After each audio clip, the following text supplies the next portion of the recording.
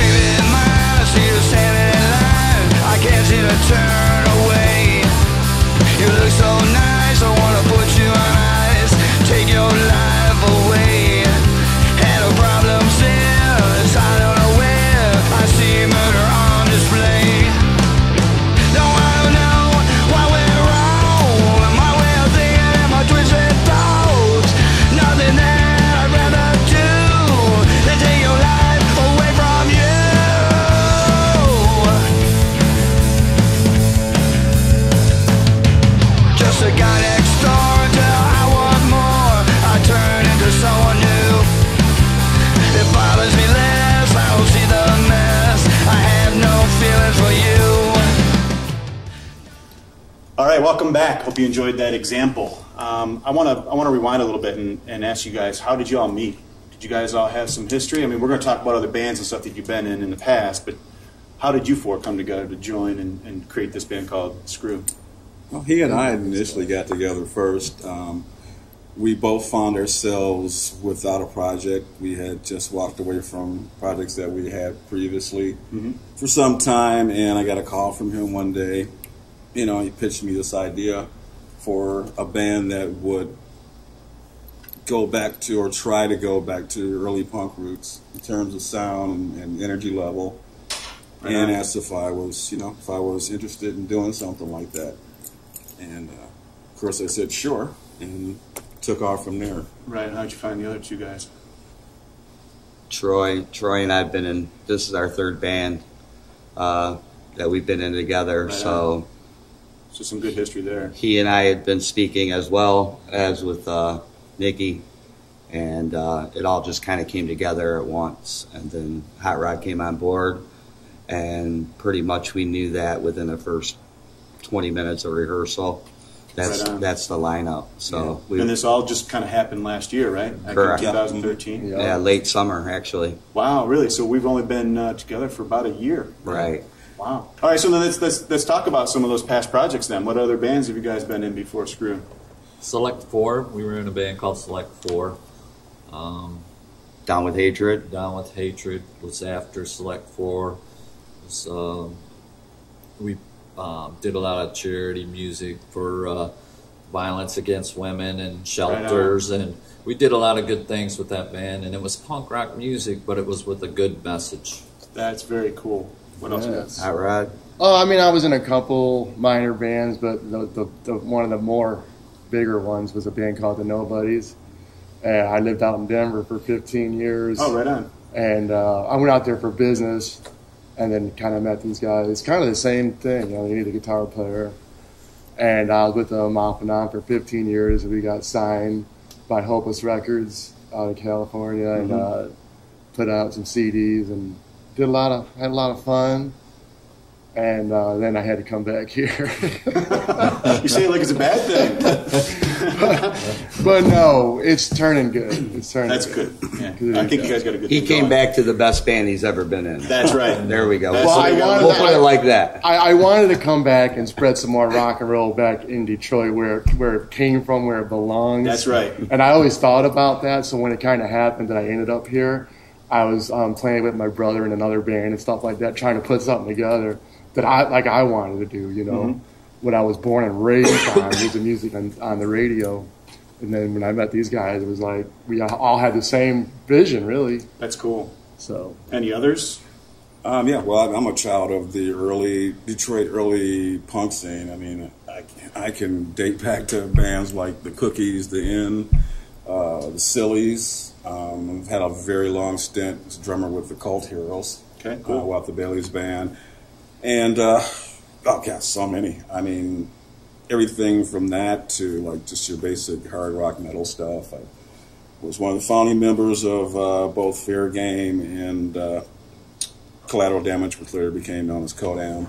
Right on. So Right on. Very good. So you guys, you've got a CD out now. Is it indie or you on a label? It's independent. Right on. You feel that's the way to go these days? Pretty much. A lot of bands are saying much. that's the way to go, man. Pretty much. Have you guys, you know, joined any organizations or anything yet, like BMI or ASCAP or any of that kind of stuff?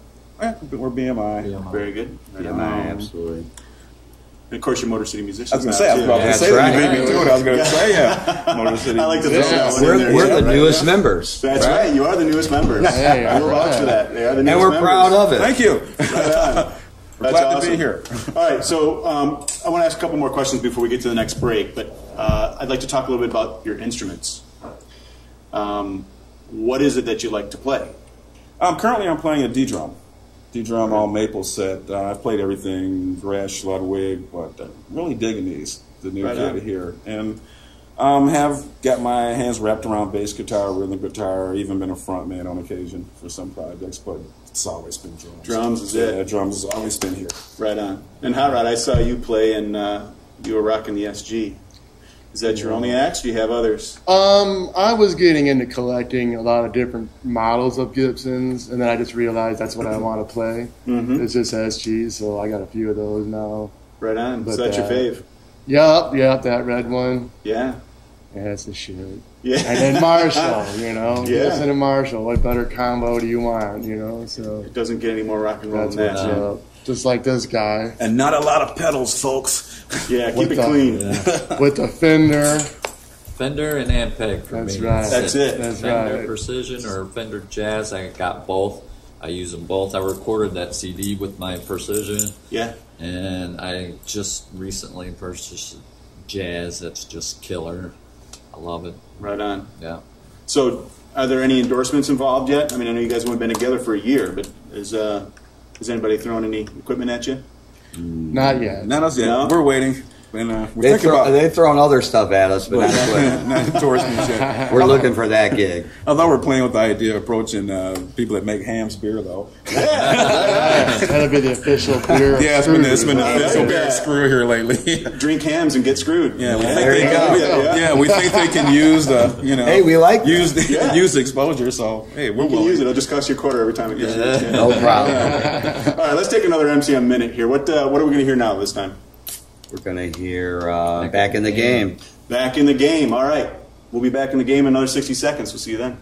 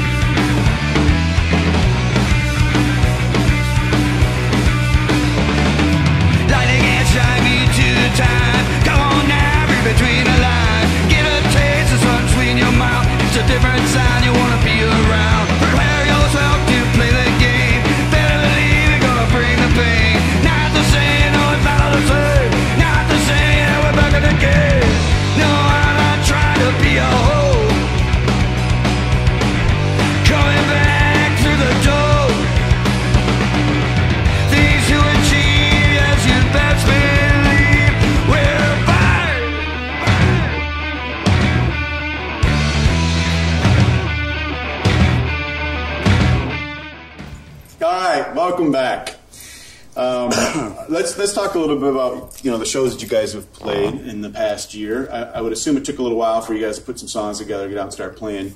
Think back to the first show. How long did it take for you guys to get out on the stage for the first time? The very first show. Wow. Was it like a month or two? Yeah. Probably Wow, maybe quickly. maybe six weeks. Yeah. Yeah, we where was we that? actually went in and recorded a four song EP Right. prior to ever playing a show. wow. So we had worked on these songs for a few, you know, a few weeks, went in and recorded, and then, you know, had our T-shirts and that the whole nine before we even hit and ever did a live show. So where was that first live show? Um, place here in Ypsi called the Tap Room. Right on. Uh, regular hangout for us and uh, uh, owned by musicians. Um, a really great uh, blues guitarist. cool. And um, Shout out to the tap room. oh yeah, shout out to Tap, man. You guys Yo. rock. Our first show. Yeah, Brian and Lisa, thank you much, man. Keep doing what you're doing. Right and uh, they were gracious enough to give us uh, their their their back room, as we call it, the side room, uh, to uh, host our CD release first ever CD release party. Your first show was a CD release party? Yes. Yeah. Dude, that is fantastic. Wow. Well, it was an EP Yeah, release. well, you know, but still, yeah. that's that's pretty cool. So how did the show go? it Oh, went great. great. It went great. It went great. You have a decent room? Yeah. Yeah. Yeah, cool, Yep. man. It was cool. Right on. So where else have you played since then? Mm, we played the Machine Shop on our third show with Sponge. Nice. nice. Um, come on, I'm drawing Smalls. blanks here. Smalls. Smalls on a few times, A yep. couple, couple With the few occasions. Um, uh, That's where our latest CD the release. token lots. The Token, Token right? Lounge. Yeah. John, Johnny, big Love shout John out. Yeah, Yeah. shout out to John, man. You're my bro. You know.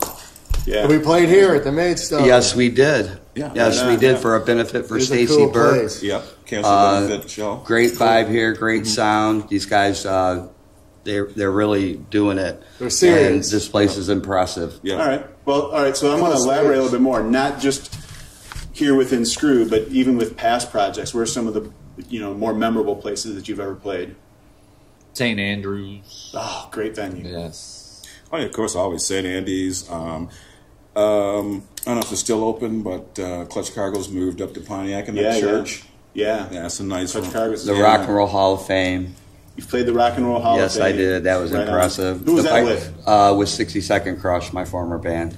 Well, you didn't mention that in the previous segment. You there. You've been in a few more, haven't Yeah, you? uh, well, I, you, I was. He's had- I- he's holding out on well, us here, Troy wasn't in that band, so that's why I didn't bring Uh, it so up. you were just talking about the ones you guys I did a together. 15, a 15 year uh, run with that band. Was a founding Right member of that band, and had we traveled Germany t- uh, twice, Amsterdam, played all over Right the states. Had a good time. Cool, cool. Well, so you guys are very, you know, you've already been there, so you'll be able to take these guys along. You know what you're doing once you get out and start touring, right? Mm, I don't know about that, but Yeah, they probably take me along with them. There you go. Uh, he's very modest, folks. He's very modest until he gets on stage with a microphone in his hand. If Now, you now, could if you're keep it- just yeah, if you're asking just memorable club, Yeah, not, yeah, yeah. not necessarily in the realm of this band. wherever. I got to go back to like again early punk days, like Bookie's Club 870, which Mm-hmm. of course is no longer exists, and uh, Todd's used to be over on the east side, of Detroit. Um, another great premier alternative and punk club uh, Mm-hmm. in its day. Um, Cool. So you're going back a yeah, ways. yeah, it would sadden me, saddens me because clubs like that aren't just a far and few and in between these days. So do you guys have your sights set? I mean, is there any venues, either local or abroad somewhere, that uh, you guys are aiming for? There's got to be some place that you want to play. You know, like Well, maybe we like to, you we, want. we'd like to get back to St. Andrews Hall. We actually right. may, we Yeah. may actually do that on uh, December 21st. Cool. Um, that's in the works right now. So uh, for a Christmas show, Right on. That'd be cool. and then you Play know, in the hall. Yeah, Mm-hmm. the Fillmore would be great. I'd Yeah. like to go do that. Cool. Taking it one Yeah, at a time, one it gig as at a We're time. ready for Well, don't- anything. To Right some on. people, it may seem like we're moving fast, but I mean, it, Yeah. it, it's kind of somewhat been calculated. Sure. What we've done uh, to this point. Mm-hmm. You know, it is what it is. There's a million bands in Detroit. There's a million great bands in Detroit, Mm-hmm. and uh, we think Screw is one of them. Mm-hmm. I would agree. You wouldn't be sitting here otherwise. Thank you. Thank Make you, sure you get out to one of their shows for sure. All right. So when you guys get out and you play your live shows, you're an original band. Did you play any covers? Sure do. sure Yes. What do you like to play as a cover? Social Distortion, Cold Nice. Feelings. We do a song by them. Do a little Ramones once in a while. Johnny Thunders. Iggy Pop. So you guys mix it up a little bit. Yeah, we Hey, what are you guys in the mood for tonight? Hey, let's do a little Iggy tonight. Yeah, sure. Right. I dig that. That's actually, cool. actually, we night. played Iggy last night. did We, hadn't played. It hadn't been our set in a while, and we played uh, "No Fun." Cool. Had a great time. That was our closing song. So Right on. All right. So when we talk about your original stuff, who writes it? How does that happen? they do. No, we all write it. We all it's, write it's it. collective. It's collective. So the process is a collective process, right? So what happens? You guys are at practice, and somebody throws out a riff or something, and you just run with it. Yeah, It's- he'll, Correct. he'll come up with the riff, Hot- or I Hot might come got up a with the riff and introduce it to the rest of them. He'll come up with the riff and introduce it, and then we all take it and work it till we've got something everybody's satisfied with. And then this wild man, man here will come along and take it home and digest it for a couple days and come up with lyrical content. some crazy lyrics. it usually starts. Usually starts instrumental. Correct. Oh, yeah. You get the vibe down. and Oh, I don't go home and write. No, those You're not days are way over. I used to do that. Yeah. Uh, but to get that to fit with what you're actually playing, Mm-hmm. to me, it was just too much of a headache. So I, I just turned it around, the process around, and it helped. I mean, probably a lot of bands do that. I, I really don't know, uh, but it, it's always worked for me. Right on. And when you got a riff factory, Correct. it just kind of. Well, I have an eight-track digital recorder, little studio in my Yeah. in my house uh, with a drum machine, Right and on. so I just turn it on, put the headphones on. It's all quiet, no one can hear nothing, and I'm just in that zone, in that little Mm-hmm. world, and I just play around with something. So when I do get it, I can record relatively what, where I'm at. You know what I'm Mm-hmm. saying? And then I I can just uh, digitally send it right to these guys and go, "Do you like this tune?" And then they're like, "No." I'm like, "All right." well, what about this one? Eh, maybe. And I'm like, yeah. Rod, Rod has a good Yeah, talent and a good ear, Yeah. uh, and then the band comes together and they piece it together and basically make a song out of it. That's cool. I'm sure that's how a a gazillion other bands Yeah. do it. Well, a perfect example is like Thrill Killer, where when I wrote it, it was a lot faster because I usually kind of write faster. And you know, like Sean, bring it down and made it more dirty or like, you More know. grungier, So that's a perfect More example. sleazy. Yeah, maybe more sleazy, get a sleaze factor to it. That's cool. You said you send it digitally, maybe ahead of time. I would assume you also introduce a few of them at rehearsals themselves. So let me ask, what are rehearsals like? When you guys get together, is it just madness, or you Business. guys like? Is Yeah. it is all It's, business? it's business. Depends on what the agenda of that day or week is. If we're if we're you know tightening up certain things in preparation for a show, or, or if it's more lax, and we just want to work on some new right you know some new song ideas. It, it varies. Right on.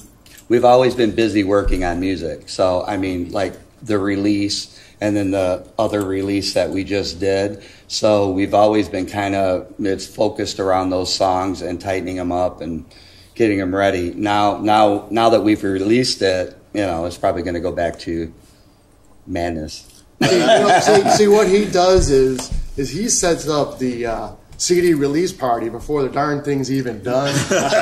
so he's got the date set. He's holding your feet to Yeah. the fire. we're like, all right, well, we work well under pressure. Let's take our last MCM minute here. This is going to be the third example. Um, what do you guys want to show this time? bottom feeder. Yeah. Bottom. Bottom feeder. Is there a story behind it? Want to set it up at all? It's uh, about addiction. About addiction. Right on. Well, here's bottom feeder. You want to elaborate? It's about addiction. Is that people that uh, that? the song title says it all. Bottom feeder. Right. Right on. People Okay. that, you know, feed from the bottom. Here's bottom feeder. We'll see you in 60 seconds. Mm-hmm.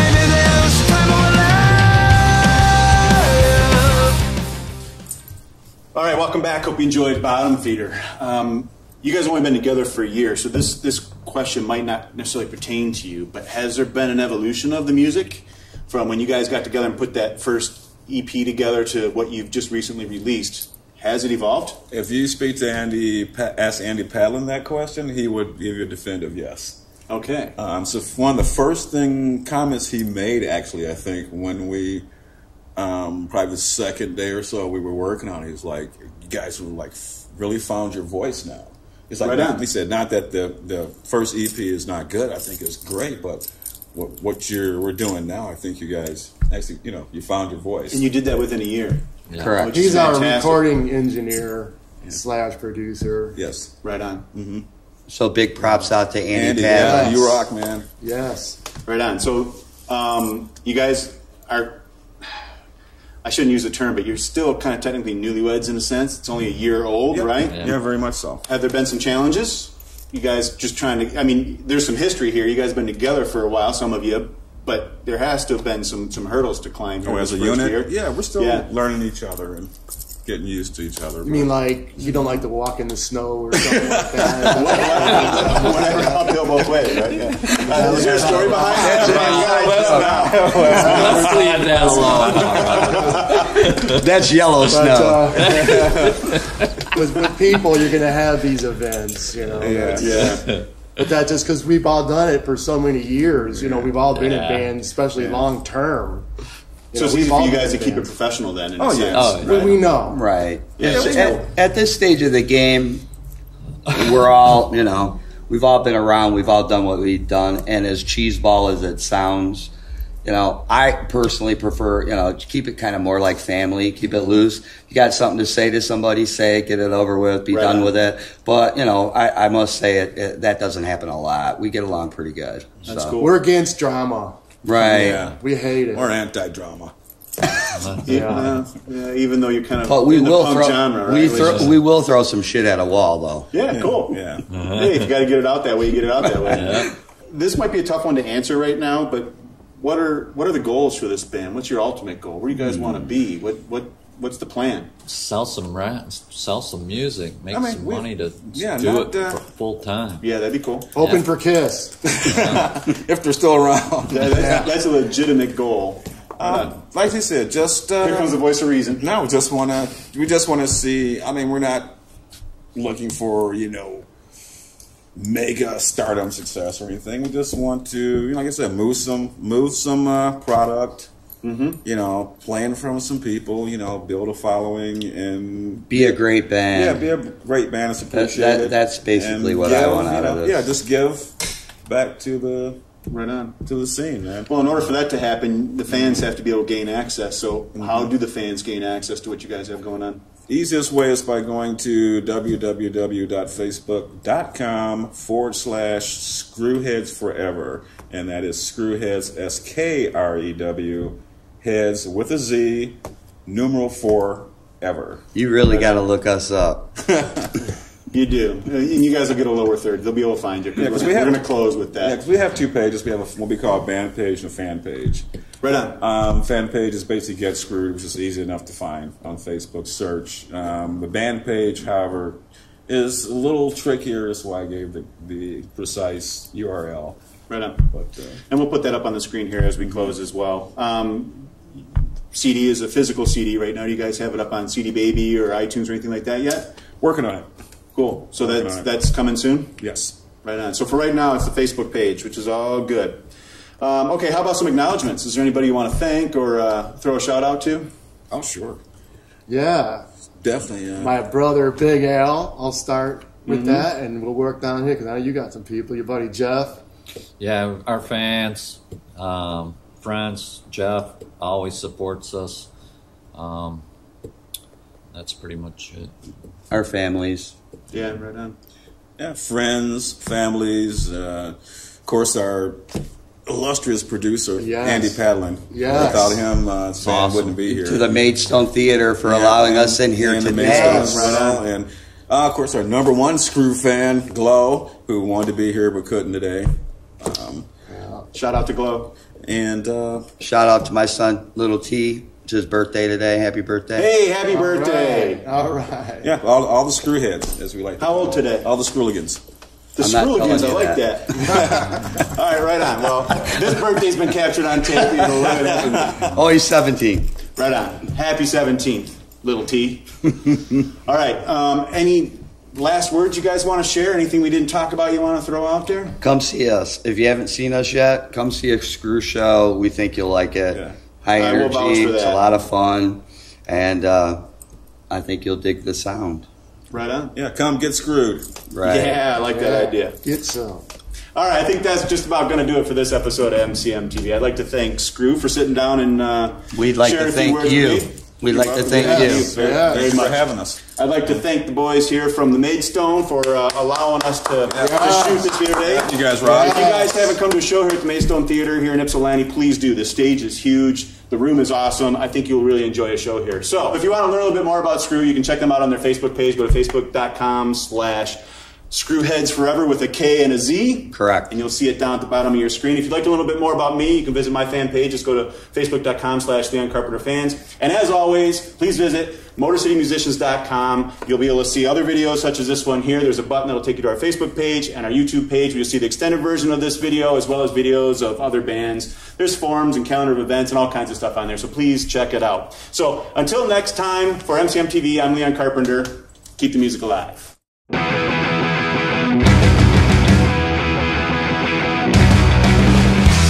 At me